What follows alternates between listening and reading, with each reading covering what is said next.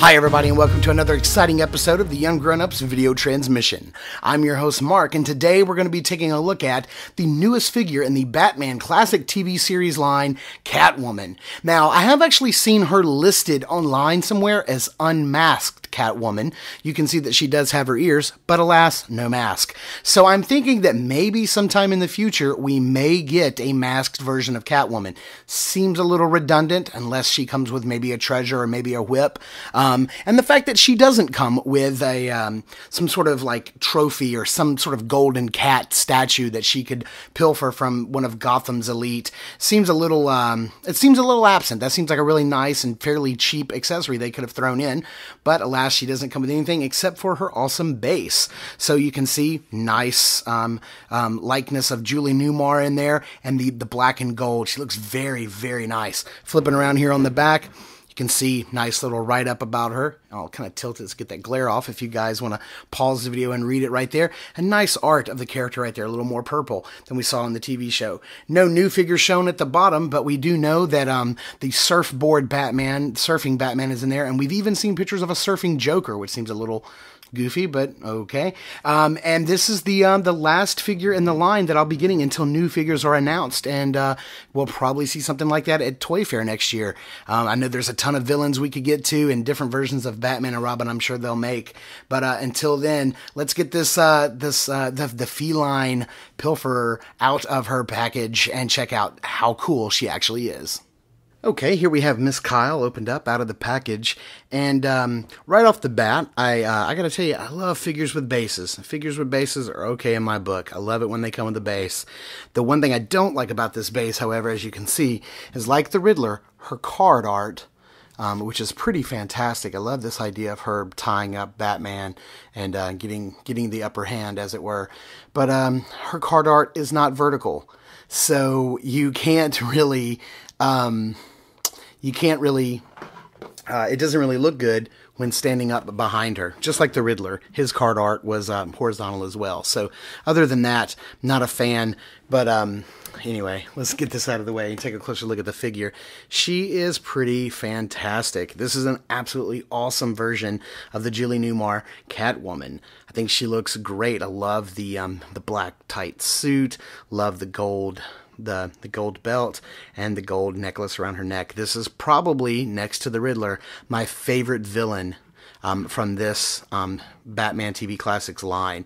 She looks pretty fantastic. A little uh, Black Widowish from the back right there. Love the ears. And like I said, I have heard this is being referred to as the unmasked version. So I wonder if one day down the road we'll get a masked version of Catwoman.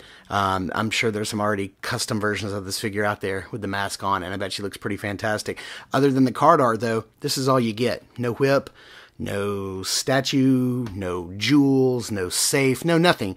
Um, and, and that would have been nice. But, you know, as we've seen, except for the, um, the penguins um, umbrella, these villains are pretty much accessorily accessory less. They just don't come with a lot. So, um, there's not a lot added to this figure. So, but that being said, she is pretty fantastic and a must own for your um, 1966 collection. Sorry about bumping the camera there. So, taking a look at the articulation, because she does articulate a little differently um, than the other figures. I do like that they sculpted the hands in this sort of gesturing or open position because you see that it works good for getting her hands in, um, on her hips or even just gesturing as if she was kicking or sneaking around or prowling around, which is, I think, great for the character.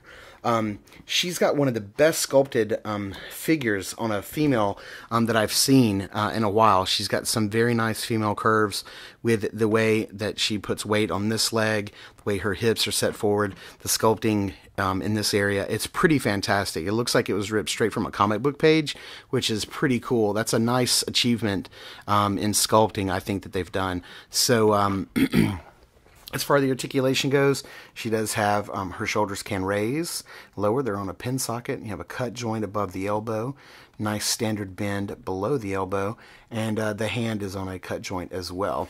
You um, have waist articulation, not at the belt, but up in her abdomen area. The head is um, pretty well articulated despite all the hair. Um, you would think it would really get in the way, but um, it doesn't. Uh, it does when you're trying to lift it up, um, but tilting it down and all around doesn't really get in the way. Let's get her off the base. Um, you can see that she does have sort of that Mattel Four Horsemen um, hip articulation, which is really nice for this figure for kicking. Um, she does have a oddly placed cut joint right here, right above the knee. I would think it would have been a little higher. Regular articulation at the knee. I would have liked a um, uh, double knee articulation joint. I think would have been really nice. But you um, and then no. Oh yeah, the foot goes back and forward under the cuff not above the cuff. Sorry if that's out of out of frame, out of focus. I have a tendency to not look at the back of my camera when I'm doing this, which is another reason why I don't do a lot of articulation um, uh, poses in my in my videos. So um, why don't we uh, zoom in and take a closer look at some of the detailing, the sculpting, and the paint apps on this fantastic figure.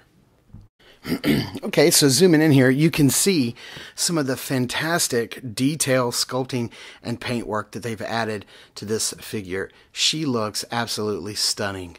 Now, when we did see the prototypes of this figure, her eyes were a little smokier. The uh, the mascara was a little, or the eyeshadow was a little heavier, so she looked a little, a little more seductive.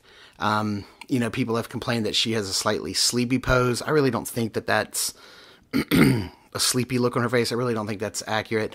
I think it's very sexy, very sedu- seductive, just like she was on the um, on the show. So I really dig that. Nice cat ears up top. I love the uh, the hair sculpting. It looks pretty fantastic. This is just an all around all around well sculpted, well painted figure. Um, I think if you needed the extra smokiness in the eyes, I think you could add that in on your own. Not a problem. Um, going down a little bit, you can see the nice sculpted detail on the necklace around her neck, which is pretty cool. You can see the nice sculpting detail around the abdomen. Actually looks like um, that there is skin and muscle underneath that um, form-fitting, tight um, cat suit. You can see the, the, the belly button, the stomach muscles, the hip bones, all really, really nice. You can see nice detailing on the gold belt. Very, very cool. And the paint is fantastic.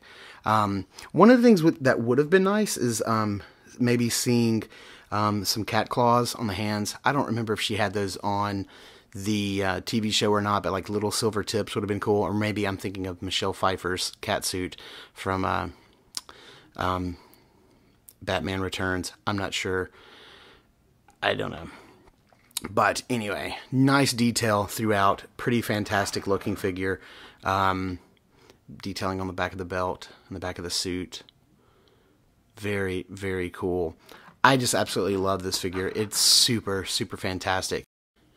So, as you can see, Catwoman can more than hold her own against Batman and Robin here. Um, these figures just look absolutely great together. I am so incredibly happy to add um, Catwoman to my collection. And just a little side note, you can see that moving Batman away, she is holding that pose on her own with just her foot in the base. So, nice articulation as we as we went over, and uh, nice tight joints to allow her to get into some pretty decent poses, so she can uh, square off against uh, old Batman and Robin here. So um, that's going to about do it for this review. I am so incredibly happy to add her to my collection, and I can't wait to see where this line goes in the future. I'm hoping to add lots more um, villains to my uh, to uh, my 1966 collection. This this this is a collection that's just absolutely fun to play with, to look at, and collect. So this is Catwoman here is a definite addition to anybody's collection. So definitely pick her up. So uh, that's going to about do it for this review. Um, as always, we're going to ask if you dug it. Please like, comment, or subscribe, and be sure to check out all of our other video transmission action figure reviews right here on Ungrownups channel on YouTube.com.